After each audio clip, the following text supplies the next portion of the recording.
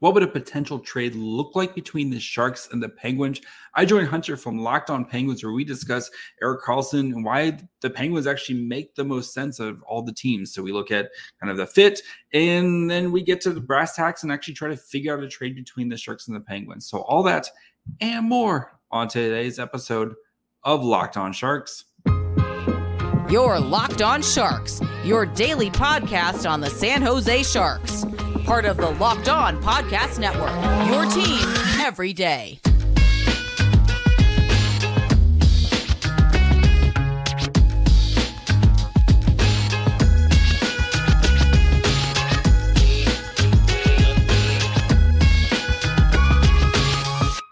Hello, welcome to a bonus episode of Locked On Sharks. My name is JD Young, contributor at San Jose Hockey Now and Inside the Rink, and I want to thank you for making Locked On Sharks your first listen. Proudly a part of the Locked On Network, where we cover your team every day, or three to four times a week right now as we are in the off season.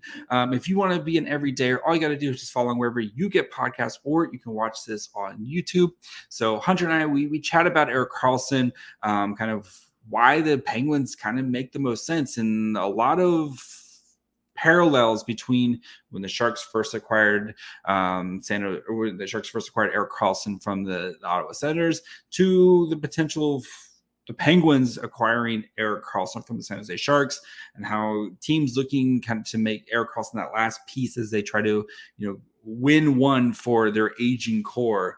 Um, so we, we discussed that. We discussed kind of, uh, you know, we come together with a trade. We do what Kyle Dubas and Mike Grier can't do, and we actually come together a trade that is beneficial for both parties. So, uh, without further ado, here's my me and my friend Hunter discussing Erik Karlsson. JD Young of Locked On Sharks, and this is something JD that we probably should have done a couple weeks ago, but maybe some of both of us probably thought a trade would be done by now, but I think all these teams just really don't want to do well. I think the teams that want to acquire Karlsson want to do the deal, but the Sharks are being a little bit more patient. But in any case, really appreciate you coming on this episode. Oh, no worries. I mean, yeah, the Erik Carl, at least it has provided us with plenty of content. And that is what this is all about is manufacturing that content in the doldrums of the summer. And uh, Mike Grier is doing his job there. So that's what more can we ask for? It's about to be July 25th. We're recording this on Monday night. And yeah, we're at the dog days of the off season, and Erik Karlsson is still providing us quite a bit of content, especially over the weekend here at JD. There was an article from, from Sweden because Erik Karlsson won the Golden Puck for this year, Sweden's best hockey player for the country. And during the interview with the reporter, he obviously addressed the elephant in the room, which is the trade situation. Mm-hmm. And the biggest thing I took away from that is he's just ready for this to be over. I think he wants to be traded any any second now, to be honest. And it sounded like to me when I was reading through it, he's he he, he it sounds like he has the say when it comes to well, I, think well, he also has a say because he has to do the movement clause, but he has yes. the full say when it comes to where he wants to go. And I think that could be the main reason why a trade hasn't gone through yet, because maybe he's still thinking it over with his family or something like that. What was what was your main takeaway from that article? Yeah, I mean, we we we knew this was coming as Sharks fans, right? We knew Erik Karlsson would be traded. Um, we knew that th- this has been a possibility for a while. There was talk of him being traded at the trade deadline. The Edmonton Oilers were huge were huge players in that. Um, nothing was able to come to fruition, especially with how difficult and complex this trade is going to be whenever it does happen. Uh, but uh, you know, like you said, Erik Karlsson doesn't have a full no movement clause, so it doesn't matter if the Arizona Coyotes come up and say, "Hey, we'll give you guys five first round picks," and and you don't want to retain any salary. If Erik Karlsson's like, "I don't want to go play for the Coyotes," it doesn't matter. Sorry, Robin, I'm just picking the Coyotes out of a hat. But um, it, it that that's the thing, right? Is it, it seems like Mike Grier is going to work. You look last year, right? Brent Burns, Brent Burns, a little bit older than Erik Karlsson He's done everything you could do in the league except for win a, a cup. They worked with uh, Brent Burns to he he had a three team no trade like um, they worked with him to get him to Carolina, who wasn't actually one of the teams that was on his no trade list, but they worked with him to get him to Carolina. I think it's going to be the same thing, right? It's going to be a we want to make sure kind of every asset, every avenue is is, is looked at and explored. Uh, and Miker is being patient, right? And if you go way way back to when Erik Karlsson got traded from Ottawa to San Jose, that didn't happen until the eve of, of training camp. That was a mid September trade. Um, so I kind of have no reason to believe that this, you know, what it was the saying? Uh, deadlines kind of you know spur action and i think once we start getting a little bit closer to the training camp and if there's still that's i think when teams will start to put in those final final offers and if you're mike grier what's the rush right um, you're gonna get the same package now that you would in september and you might get a better one if a team gets a little bit more desperate that's going to be the big question because I think a lot of people have been just thinking like if it gets closer to camp or closer to the season, is the price going to go down where the Sharks are going to be like, okay, we're just going to get rid of him because we don't want him on the team heading into the season. And we also know that he doesn't want to be on the team heading into the season. And with the Penguins, I mean, they're willing to wait. Right now, they have one salary arbitration case left in Drew O'Connor. That's on August 4th. After that, they have the buyout window that opens up the second one and maybe that's Mikael Granlund, maybe that's Jan Rutta, something like that. But they can wait. They they have the patience here. It's just all about how much longer do the Sharks want to wait with this because this has turned into a game of chicken. Yep. No side has blinked yet, and I think Mike Grier is pretty happy about that. I was listening to the DFO rundown today with Frank Seravalli and Jason Gregor, and they were both talking about how it sounds like a lot of these teams that have gone trying to go after Karlsson, they're like, okay, you don't want to do anything right now. We're going to take the rest of the month off. Call us in August if you want to try to make a deal. And that's even worse when it comes to the dog days of summer. But yeah, I mean, it honestly just seems like at this point, there's really not much going on. I mean, do you expect this to go into camp, or do you think this is going to be similar to the the trade that we saw a few years ago when he went to San Jose right before training camp? I think once we get closer to training camp, um, I think that's when we'll see a little bit more action with it. And Mike Grier and David, head coach David Quinn, both said we'd be happy to have Karlsson back. Um, you know, it's not like if you don't trade him now, it's not like you can't trade him during the season at the trade deadline.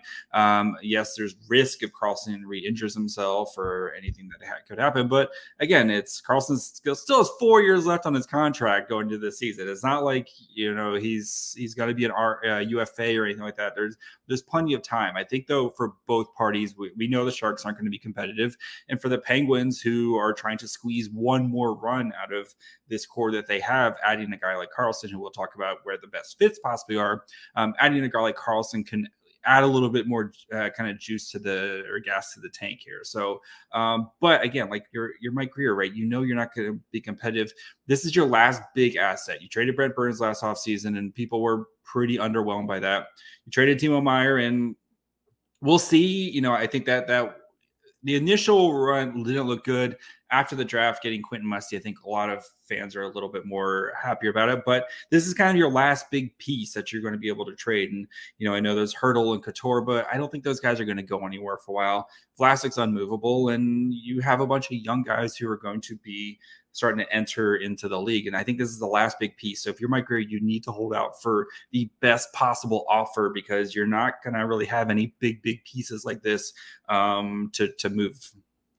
And I was going to ask you about that because, uh, you know, I'm of the opinion that, you know, I don't think the Sharks are going to get that much in return just because they don't have a lot of leverage. But it, it, it seems like to me, they're hoping that one of these teams is going to get desperate enough to throw them a pretty big offer. And then they're be like, oh, okay, we're glad that we waited. But it seems like also to me at the same time, maybe the Sharks aren't valuing the cap space that they're going to get when they make the trade, because I think that's going to be a pretty uh, big asset. You know, whether you're retaining 20, 25, 30%, we can get into that a little bit later they're not valuing the cap space asset of that right now. And I think that's another big reason why you haven't seen that trade yet because they're still looking at getting young pieces back that can help them in their rebuild. And teams like the Penguins, they're willing to take Karlsson off their the Sharks' hands.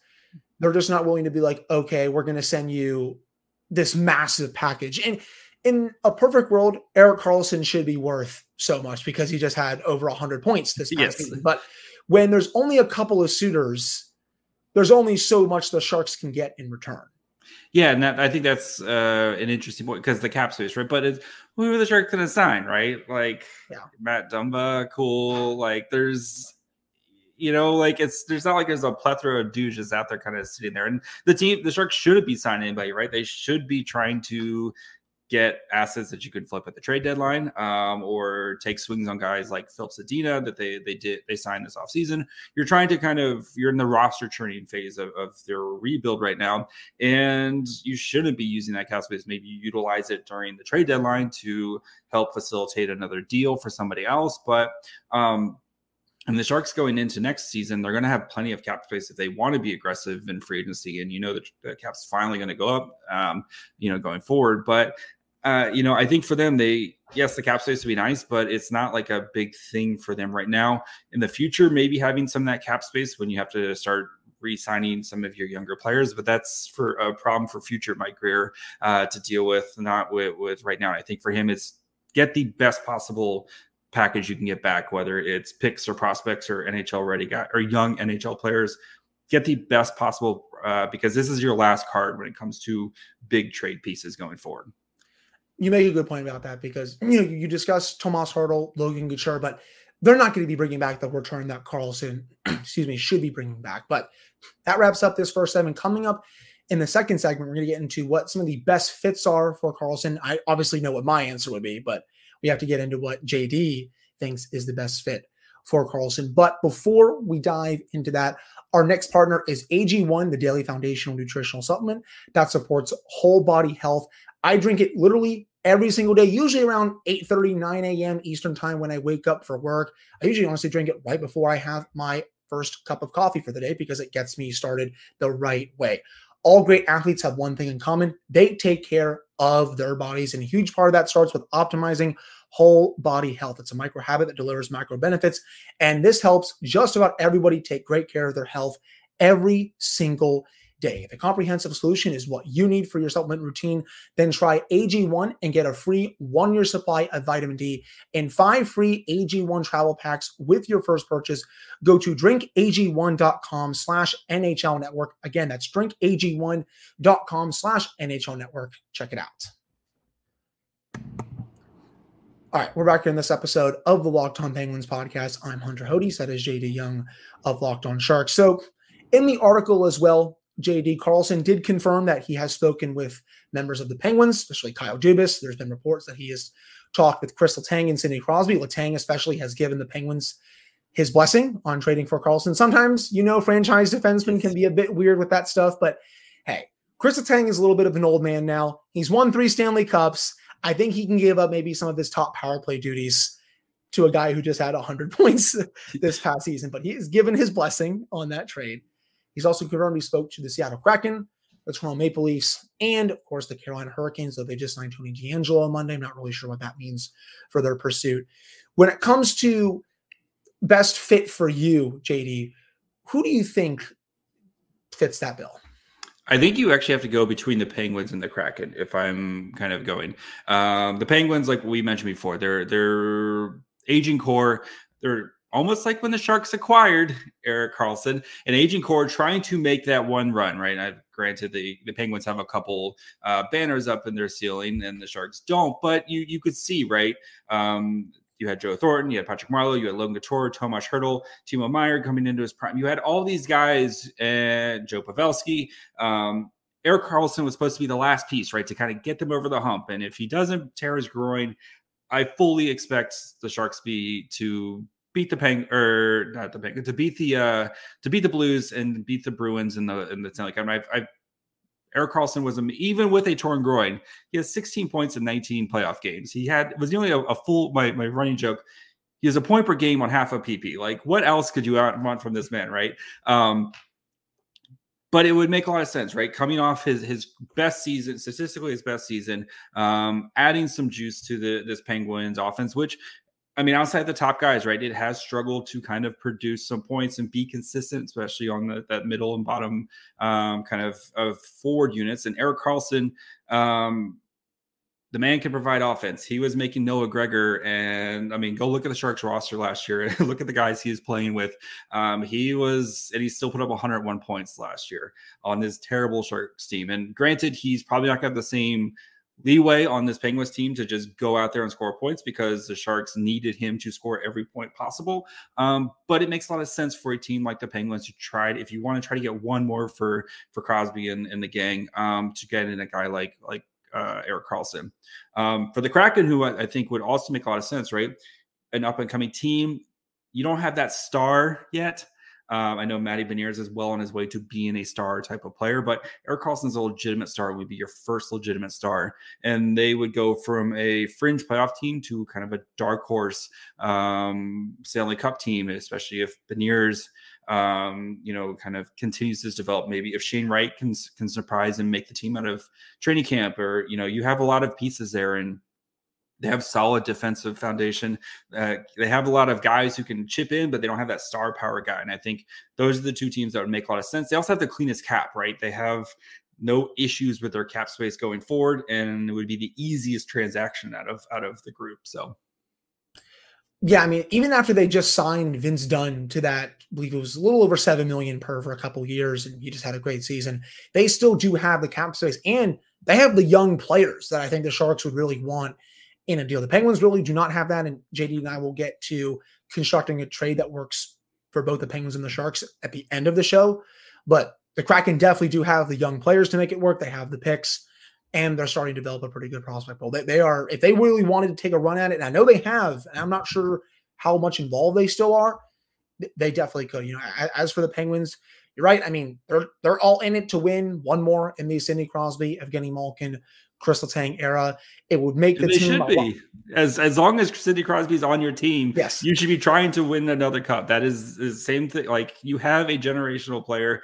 As long as he's on your team, it's the same thing. The Sharks, right? You had Joe Thornton. You try to win a cup until you just can't anymore, and then you try to you figure out the future in the at some other point. But you keep trying and taking swings at it until it just the wheels fall off, basically. Heck yeah. I mean, you know that better than almost anyone on this network. Heck, you know, Patrick Marleau, Joe Thornton, Brent Burns, Marc-Edouard Vlasic when he was still really, really good. Man, those Sharks teams from the late 2000s to early 2010s, even the mid 2010s, they were very, very good. I mean, we saw both these teams playing the Stanley Cup Finals. Sorry, JD, by the way. But I had to. I'm sorry. It's okay. It's okay. It's okay.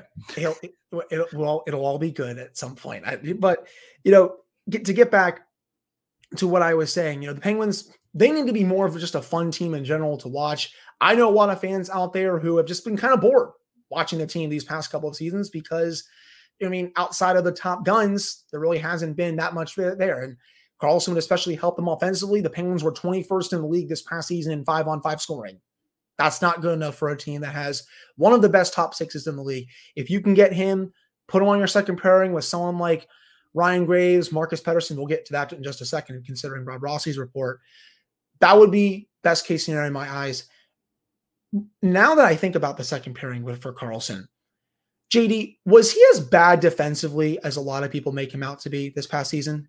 So he you're not paying Erik Karlsson $11.5 million to be a shutdown defenseman, right? Yeah. He is a game breaking talent offensively. And you have to think about the Sharks, right? They they kind of were playing a all gas no break style because they just didn't have the horses to kind of compete night in night out. So um, Erik Karlsson was put in charge a lot to go go do stuff and make us at least semi relevant. And you you talk about the five one five scoring, like Erik Karlsson had 101 points last year.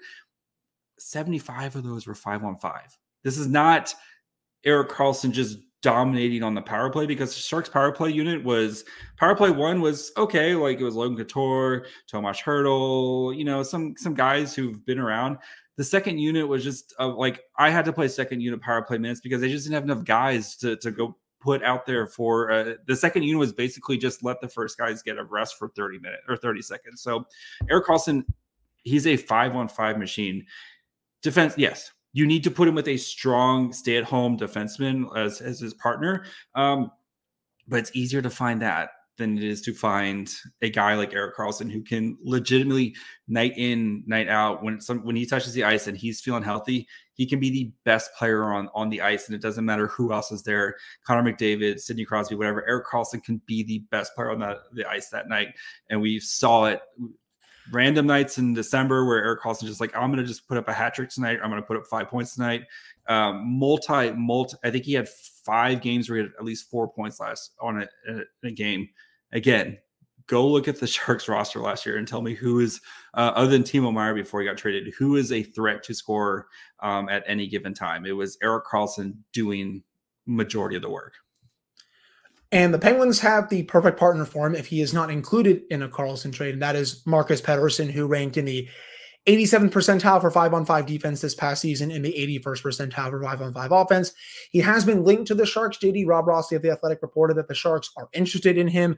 Not surprised considering he just had the season of his life, but there are that is probably he's probably one of the only players or just any assets in general that I would not give up to get Erik Karlsson just because he is that good of a defenseman and he would be a perfect partner for Karlsson. But yeah, I mean, it just it makes sense for so many reasons. Even if the with the Penguins over the cap, they have mm-hmm. ways to get under. Never underestimate team a team's ability to get under the cap with this kind of deal. Now, JD, before we get to our final segment, I, I did have this question for you with the retained money with when it mm-hmm. comes to this. So it sounds like the Sharks are not budging on, I think it was around 20%, which takes it down to, I believe that's 9.5 million, if my math is correct. Somewhere around there, yeah. Around there. I know it's been reported that teams want them to retain 25%, 30, maybe upwards of 40. In order to get a deal done, do you think the Sharks are going to have to come off their asking price of 20%? I think so. I think if you look at right, you have to remember when Erik Karlsson signed this contract, and it's kind of uh, he signed it summer 2019.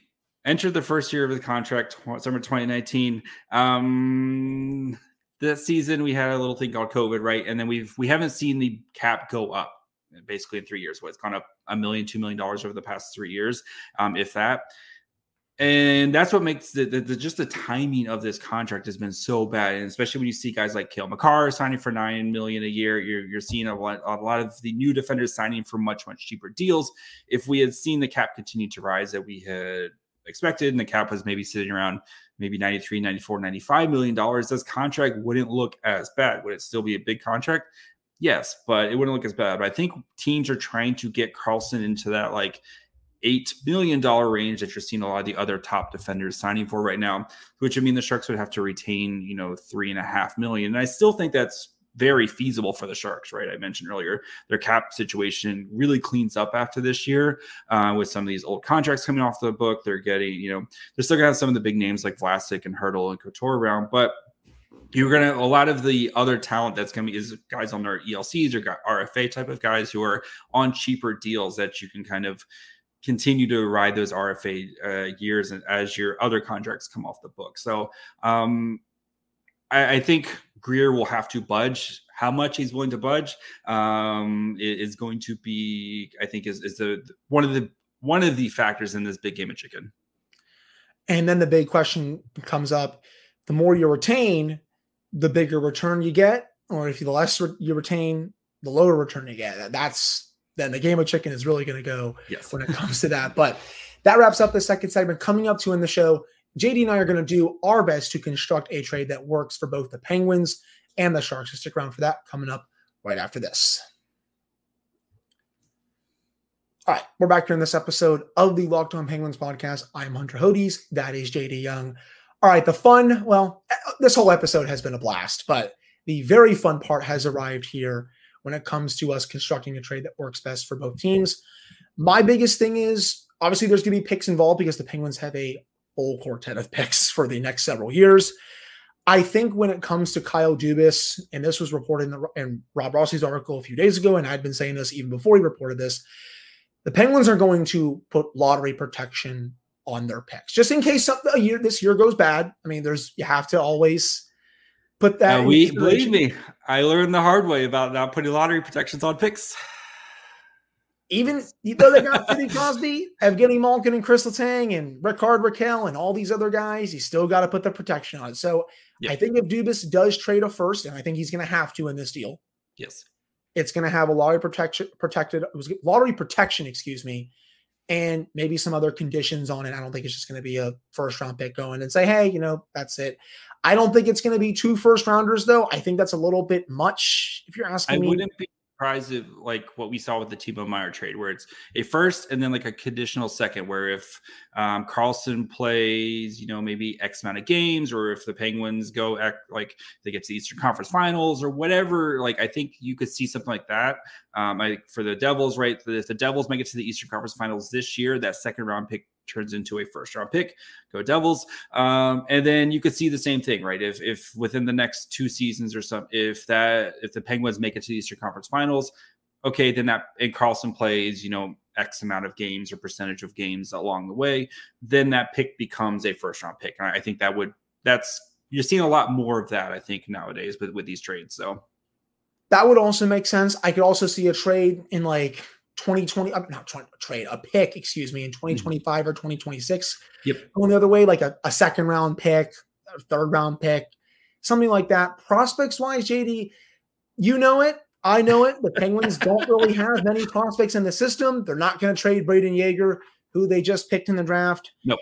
Maybe Owen Pickering, but I don't think he's going to be traded either. I mean, they have a couple goalies that, that could go in the trade, but there's really not that many prospects in the system. So if the trade happens here, probably going to see a, a, boatload of picks and some players. The Penguins do have some players that they could offload if the Sharks are just looking for anyone. I mean, the big one is Jeff Petry, but the, that this complicates it with he has a 15 team no trade clause. And it sounds like he doesn't want to move to California. It's funny. He was just in Napa with his wife, and his, his wife called it one of their happy places. So everyone is starting to speculate when it comes to that. Probably doesn't mean too much, but his family is from the Detroit area. Yep. I don't think he's going to want to play on a Sharks team that's going to be rebuilding these yep. next couple of years. If you can maybe flip him to say you know, Detroit, Chicago, who has a lot of cap space. I threw out Nashville out there too, just for craps yep. and gigs some other team out in the Midwest. That makes sense. They have Mikael Granlund, who they could get bought out after the Drew O'Connor deal is signed, but he could also be involved in a trade here. I mean, there's I think, Smith. Yeah, I think the, the, the kind of way to figure is you're probably you're gonna have to the Sharks are gonna have to take a bad contract back, right? Yes. To help to counter. So whether if it's you know Petry if he's willing to come over, or you know, or Granlund or whomever, um, one of one of those guys. That's that's going to be kind of you got to eat the poop a little bit when you bring it back. But then the Sharks have been really it's been interesting because like if you look at you know the Timo Meier trade and the Brett Burns trade, they they acquired guys who were pretty close to NHL ready, right? Steven Lorentz was kind of a tweener guy and ended up being a, really solid fourth liner for the Sharks last year. Um, and then Eetu Makiniemi's probably gonna he made his NHL debut last year. Gonna be the Barracuda, their AHL affiliate. They're, he's their number one goaltender, and I wouldn't be surprised if he plays, you know, 10 NHL games this year, right? Um, going to the uh to the Timo Meier trade, right? They got Shakir Mukhamadullin, probably going to be playing this year in the AHL, then is probably going to be an NHL or the year after. I think he's looking for guys who are like those kind of tweener guys who are ready to start kind of making an impact. Um, and that's why a guy like a, a Ty Smith, um, who's been kind of a tweener for for them. Uh, I know Pierre-Olivier uh, Joseph, who's been a, a full blown NHLer. You know, uh, guys like that who are young but are, are still kind of reaching their their soon. I think that's going to be kind of the key piece coming back for the Sharks. At least what Mike Grier is going to be looking for is one of the key pieces coming back. The problem is they have a thousand left-handed defensemen, and both like in their prospect pool, and both those guys are I know are, are, are left-handed defensemen, but um, throw them in there and figure it out. The guys can play off-handed. So uh, I think that that you're looking at a bad contract coming back from from the Sharks one of these prospects, a first round pick, and then probably a conditional second round uh, pick that could turn into a first round pick if the Penguins do good things. So that would make sense. There's also some there, there. I mean, just to put fill that tweeners stuff yeah. that you were just talking about, JD. The Penguins do have some of those guys down in Wilkes-Barre who are, I think, really close to NHL ready, but could get some minutes with mm-hmm. the Sharks. Someone like a man, some fans are probably going to kill me here someone like a Valtteri Puustinen who is going to be pushing for a roster spot this camp. I don't think he's going to make it, but someone who I think is very close to being NHL ready. There's also Sam Poulin. That's the other one who's been kind of, and I know he he missed a big chunk of last year with uh mental he was dealing with, with some mental health issues. So we're hoping he's he's good to go. But I mean, you know, the Sharks that that those are the type of guys I think who could either help the Barracuda right now or be pushing for NHL minutes on a very wide open Sharks roster um, going into this season. So. I think another player who fits that bill perfectly, and fans are probably going to eat me alive for this one. Alex Nylander. A lot of people have him as an NHL player this upcoming season. He impressed in his small sample this past season. He's going to be pushing for a spot if he is on the team during training camp in the preseason, but I could see him going back to the Sharks based on what you say, JD, because he's probably too good to play in the AHL right now, especially on the Barracuda. And on a rebuilding Sharks team, I think he can definitely pot you some goals in the bottom six. He would make some sense in that area. And this is put throwing this out there. Drew O'Connor, maybe. I, I think he's probably going to be on the Penguins though this upcoming season, but yeah, that's always an option as well. So I think what we're looking at right now is a first round pick with lottery protection, other conditions, a yep. conditional second that can turn into a first, maybe a bad contract, whether that's Jeff Petry or Mikael Granlund. Granlund could also get bought out. And then, you know, some tweeners, maybe like one of P.O. Joseph or Ty Smith. I would lean towards Ty Smith being sent out because I think POJ has a lot more to grow at this point. And then maybe someone like, you know, a Valtteri Puustinen, you know, Sam Poulin, or just other players in that area. So something or like if, that. Or a goalie prospect, because the Sharks are still looking to try to fi- find a, a, goalie prospect. I know the Penguins have do have a couple in their pipeline as well. So, you know, I think that's kind of there. And I think with it comes to salary retention, because that's again, that's gonna be the big question. Is I think if you can get Karlsson in that like eight million dollar range, um, whether that's 30%, uh, 35%, something like that. And if you look at the Brent Burns, going back to that, right, the Sharks can uh they held or they they, they uh, 33 they retain sorry 33% of that. So it's a little over $2 million um, for the next now two seasons um, going forward. But i think if you you kind of just look to the the framework of the brent burns trade um, granted it's a little bit more expensive but i think that that's kind of where you're you're at with this. So if it's um, the two picks and a bad contract and then kind of whichever of the prospects the Sharks want, or those kind of tweener prospect guys. Um, I think that's that's kind of where we're going here. And I, I mean, I know you wouldn't want to Joseph. I would probably, I would probably go Poulin, uh, just because I think they've they've added a lot of defensemen recently, and I, I think they still want to continue to add to their forward group. Um, that would be my my ideal trade. Would maybe taking back a guy, you know, Petry or Granlund, whoever you want to send back, uh, whoever's willing to come back, um, and then. Um, I would take Poulin and then the the first and the second with conditions and get whole, you know, if it's 33%, whatever gets Karlsson to a, a nice $8 million. So I would take him back at eight, 7.5. Heck, the lower the number, the better, JD. That, that, yeah. That's how I see it. the lower the number, the better, but then you got you got to start throwing some more stuff in. So, but I, I think uh, I think I think we've reached the deal. We'll, we'll call up Mike. I'll call up Mike. You call up Kyle, and we'll be like, guys, we got this done. I don't know what's your problem. so I'll I'll get his number from a couple of people who I know actually do have his number. Then you know, there's always the possibility we, if we want to get even more fancier here, a third team comes in because I think the Penguins could have to do that with their salary cap situation, especially JD if Petry does not want to go to the Sharks. So then you have to send in Petry to another team, and then you have to send an asset there, probably another pick something like that. But I think we have a trade here that maybe fits both sides. I think so too. And I think it's it gives the Penguins that one last, you know, oomph to try to, especially what's going to be an insane Eastern Conference. Uh, it feels like an arms race, uh, especially when you look at what New Jersey's done. Um, you, you know, I think Florida's still going to be competitive. I think Boston's probably going to take a step back, but I mean, this Eastern Conference is going to be insane.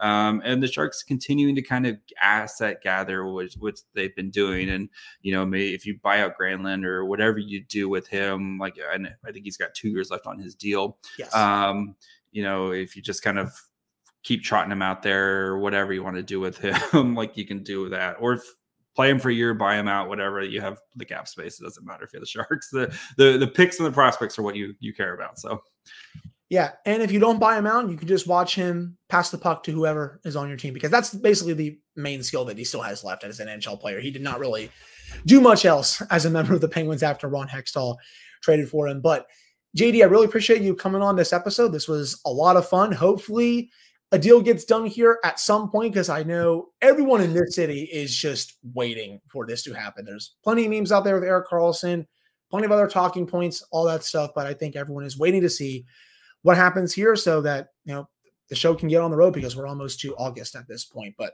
really appreciate you coming on. What do you have coming up at Locked On Sharks this week? Uh, so we have a very, very special guest. Uh, I'll spoil it for you. You know what? William Eklund making his return to the podcast. So oh. William Eklund will be back on. Uh, that'll be on Thursday's show. Also doing a roster reset, and then have another uh, one of the Sharks' uh, newest draftees coming on for next week as well. So uh, plenty of uh, good interviews and good stuff coming up here at Locked On Sharks. JD has all of the content coming for the show. I'll they don't call me a content boy for no reason. So yeah. I'll tease something before we sign off here. Locked on Penguins is going to be growing either later this week or next week. And that's all I'm going to say on that. I'm going to stay here, but someone else is going to be coming to the show. And it's someone who has been on the show before, someone who has hosted a Penguins podcast before. And I'm very excited about this. I've been doing this. So, yeah, it's JD, guys. It's, it's JD. He's the new co host of Locked on Penguins. But it's someone who I have a lot of respect for. And I've loved doing this solo for the last four years. But I think the show is going to be taken to a whole new level once this person joins it as the co. So look for that announcement either later this week or early next week. But again, thank you all so much for listening to slash watching this episode. Really appreciate it. I'll be back with another episode for you all on Wednesday.